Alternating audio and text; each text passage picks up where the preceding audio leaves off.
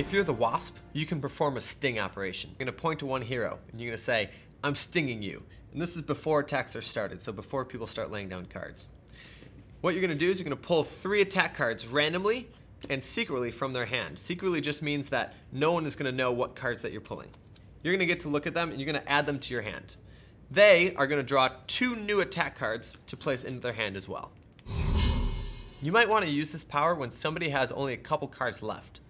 If you pull all three of their cards or all two of their cards and you see that they're both red, you can probably assume that they're S.H.I.E.L.D. because they've been hoarding the red cards, making sure that they don't have to play them. If they're blue, however, they've been avoiding playing blue cards and they're probably Hydra. Now, you can keep this information secret or tell the world, it's completely up to you. If you're Hydra and you're a Wasp, you definitely want to play your power on a S.H.I.E.L.D. agent.